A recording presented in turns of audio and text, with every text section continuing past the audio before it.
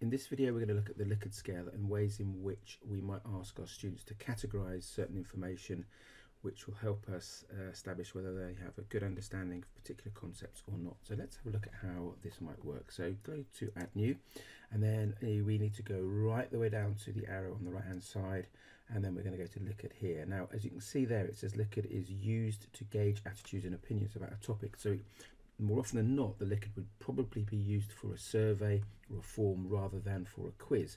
But there is a way around that we can uh, we can use this. So we're going to select that, and then we get this structure here. So on the left-hand side, you can see there are a number of statements, and we can add more statements if we need to. And along the top, we've got a number of options, and we can add more options, and we can delete options if we want to as well. So that's our basic structure and we will build this up and then the students will then decide which statement this particular or which option this particular statement belongs to. So I'm going to build one up and so we can see what this might look like for real. Okay so I've now built out the question. You can see I've put a question up here match these statements to the correct category of the Olympic Games. So these are my categories the background of the Olympic Games the values the aims of the Olympic Games and Berlin 1936 and I've put my statements down here so there are eight statements there. So what I want to do then, because I'm still in quiz, I've got the option to allocate a number of points. I'm going to put eight there.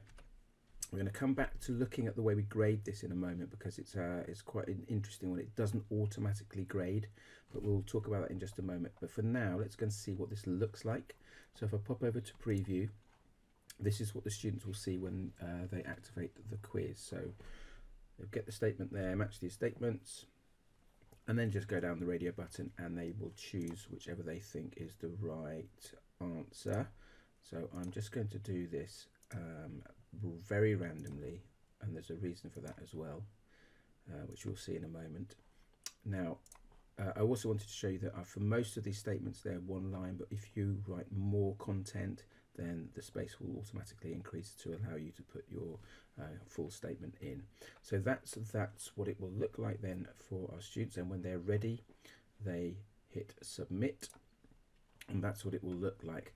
Now when we go and the student goes to view results if we click on view results now you can see straight away it says zero points out of eight and that is because a Likert scale can't be automated in terms of marking. And so straight off as we've said the students will get 0 out of 8 which actually isn't correct because some of these answers are right. So we're going to look now at how we can go back and mark that ourselves uh, and grade that up so that we can change this so we get a true reflection of how well our students have done. That will be in the next part of this video. So in order for me to change the score to give the student the correct score reflecting their ability and what they actually did in the quiz. I need to go up to responses. I then go to review answers and when I click on that you can see that would be me, respondent 5, how long it took. But this is the key thing, look, 0 out of 8 which isn't correct. So what I need to do is I need to go in and basically mark this myself. So I know that political propaganda for Berlin is the correct answer. I know that uh, peace, unity and fair play is an aim of the Olympic Games. I know that inspiration is not part a background for the Olympic Games, but I do know that excellence is a value. Um, public schools is not a value. To educate young people through sport is not a background. Much Wenlock games is not an aim. But I know that Jesse Owens was involved with the Berlin 1936 games. So that's four that I've got correct. So I need to come back up to this box here, change that. You can see it says needs review. So we have to put something in there. I'm going to put four out of eight. And then I would uh, click the three buttons there and that would say post results or response but the fact is I've already done this so I can't do it anymore but that would say post results and response and that would be done be done. Then I can go back to the post scores. I click on post scores and you can see respondent 5 that's me.